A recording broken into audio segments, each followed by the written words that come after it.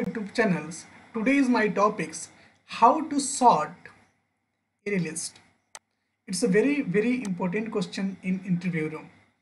So today I'm going to discuss about array list and uh, if you give someone to one array yeah array list to sort this element how can you do this so today is the very very important topics to sort the array list because array list is store the value in order.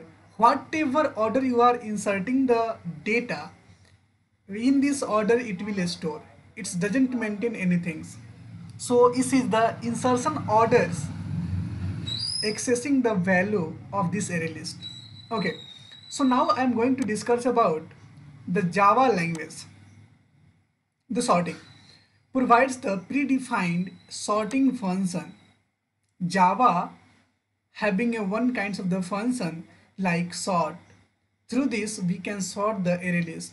So array list class it's implementing the list and list is implementing the interface of collection. So it is a hierarchy and array list having insertion order to maintain but does not sorting orders okay so you have to make this collection yeah array list in the sorting orders. So how can you do it? So first you can do it in the two way. I'm going to describe it.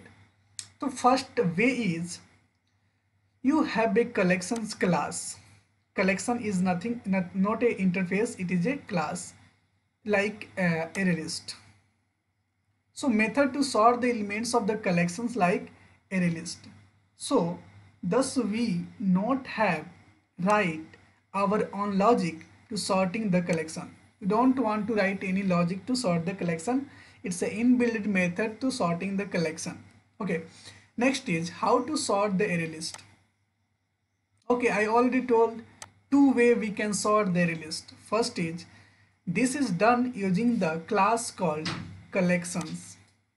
So collection is a class in this collection having this collection is available in java.util package which contains a statics method called sort sort is one of the important methods are available in this collection class which can sort an array list और ये क्या कर सकता है array list को sort कर सकता है the property of the element is public statics void and sort of L it means we can pass here list any list okay?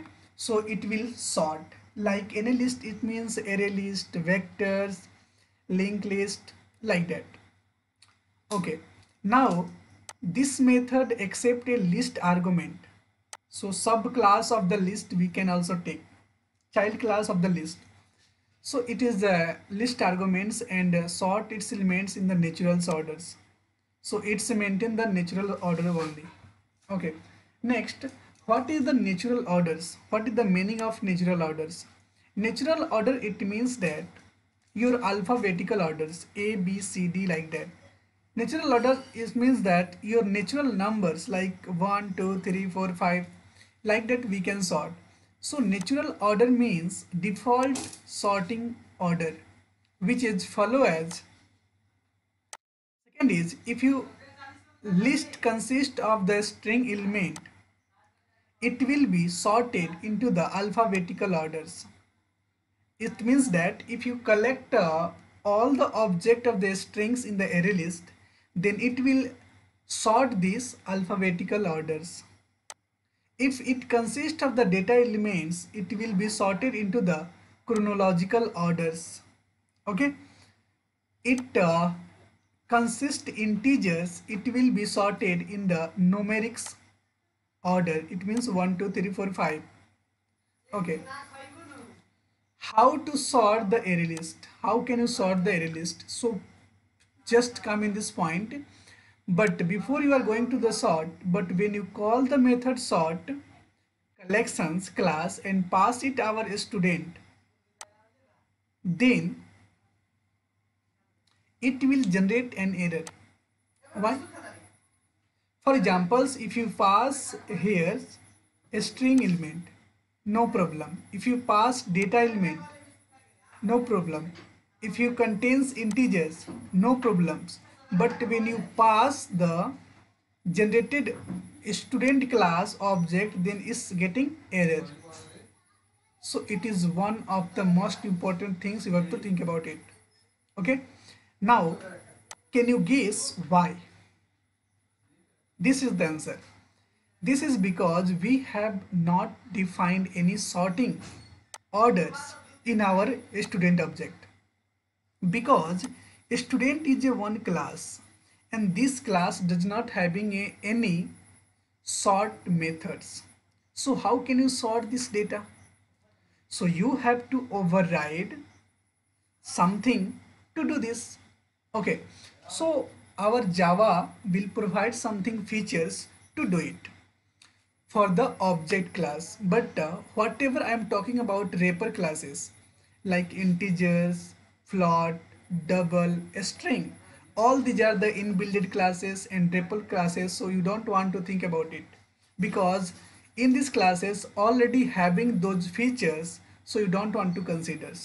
All the other features having these classes string data integers. So these are the wrapper classes. So already available but your class is a student class so that's why not available. So you have to implement it. Okay. You already learn about the student. Okay. What is the solution of this? How can you do it? To solve this problem you will have to supply the information to collection. Information to collection class about how to sort the student list how can you do it? How can you send your information in the collection class? So collection class know about yes i have to sort the student object. This is done by implementing an interface called comparable. So you already know about the comparable comparator. So comparator yeah comparable i will give you some difference. Comparator will give you the natural order sorting. But if you want to do the sorting in the customized order then you go for the comparator. So if you demand i want next video in comparator then i will do this. Otherwise you can learn your own how to do through these comparators. Okay? So right now i am going to discuss about comparable so you have to implement in a student class comparable interface and overriding its method called compare to. So comparable interface having a compare to methods, you have to override these methods and just call in your test class collections.sort. So sort internally call the compare to method are available in the comparable interface so that's why your sorting will be done. Which has the following prototype? Okay. Publics int compare to of object. If you don't know how to do this code then just comment below. I will give you code also. Okay. Thank you so much and uh, watching my video. If you like it please like the buttons and subscribe my channels. Thank you so much